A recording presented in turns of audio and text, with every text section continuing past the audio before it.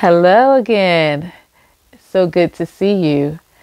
My name is Tabitha King, for those of you who do not know me, and I am a mom and a woman who is really just wanting to serve those heart centered women who have voices in this world but are afraid to use them. And I come before you today just to talk about different things um, dealing with stress and anxiety and things that build up to where you feel like you don't have a voice in this world. But I'm here to tell you, you do. And also just to empower you and help you to realize and recognize that if you have come to Christ, then we all, as um, Christians, are actually seeking to serve and and love. So as women, sometimes we feel like we don't have a voice in the church or we don't have um, a will or something to say. However, you do.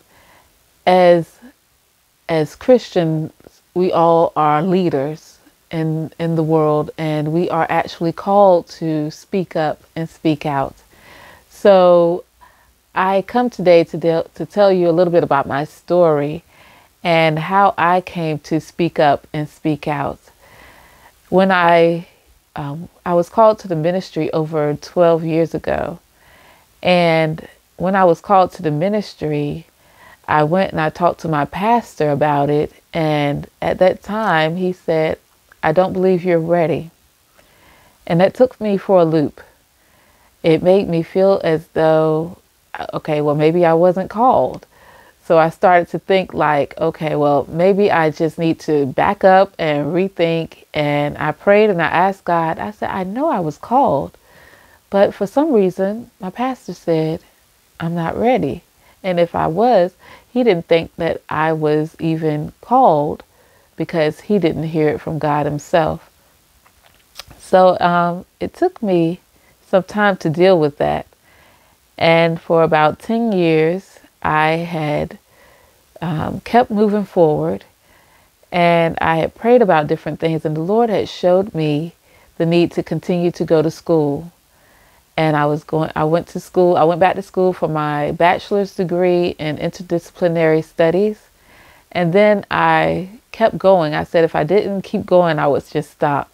So I went on and, and got my master's degree in divinity and even then, I was not, um, I, I wasn't actually ready. But once I went back to school for my master's degree, I knew then that I was called to preach again. Um, it had took 10 years actually for me to get up the nerve to go for my divinity degree. And um, right before I went back for my divinity degree, my pastor had talked to me um, right after I got my bachelor's and said, um, Are you ready? I think you're ready. And I was like, What? What are you talking about? Because I had actually given up on the entire thought of doing this. But God has a way of dealing with us and and getting us ready for what he has for us to do. So in that I realized that when he told me that he had heard something from God and I I had prayed again and I went back to school for my master's in divinity. And um, August of 2019, I actually um, did my trial sermon.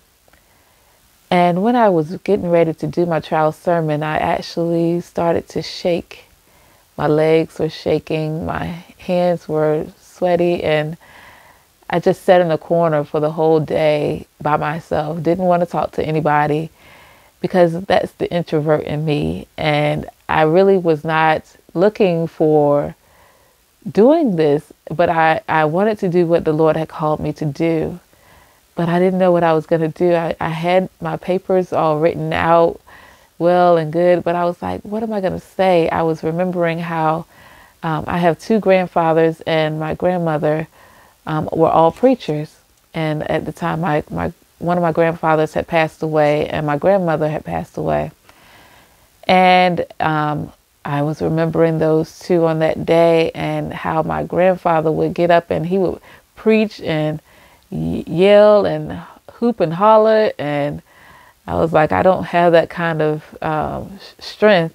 But then it was um, my grandmother, she was kind of timid and meek and mild, but she also got up there and got real strong with the word and confident. But it took some time to get there, I do know that. But for me, on my first day, I got up and I, I just talked. And I was like, okay, Lord, help me because I felt like I didn't have confidence and I wasn't bold at the time.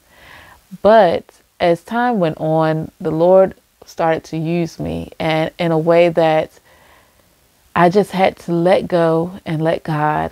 So I realized the need to just speak up for Him. And I prayed and I prayed and I asked the Holy Spirit to just move in me and help me to be confident. Well, it, it takes a lot to get to a place where you are strengthened in public speaking. However, we all have a place to use our voice. And when we want to share the gospel with somebody else and we don't know how, we need to understand that we can actually be strengthened and learn how to be empowered to use our voices to share your faith with someone else, share your story with someone else. And that's what I'm here for. I'm here to empower you and to encourage you and to teach you may, mainly how to go out into the world and learn how to be a public speaker and be basically be confident in what you have to say for the Lord and actually learn how to just give your all to him and know that he is with you while you're going through and he will give you exactly what you need to say in those moments. So as I continue to um, learn more and be um, opening up to Him, my comfort zone. I'm getting out of my comfort zone and I'm being more comfortable, uh, being consistent and showing up and teaching others, you know, about whether you mess up, whether you do something that to trip you up, you can still keep moving forward. Yesterday, I did a post and three people came on my live and it kind of shook me up because I usually do my videos when no one else is looking. And when they came on, it was like, uh, uh, uh. but then I started to see that I was repeating myself a lot. And that can happen, you know, if, if it's like your first time and you're not really normally doing things in that sense, but you got to keep going stay consistent and plan for what you have to say and what you're going to do. I pray that this helps you on your journey, and I would love to share more with you. I would love to share more with you in my community.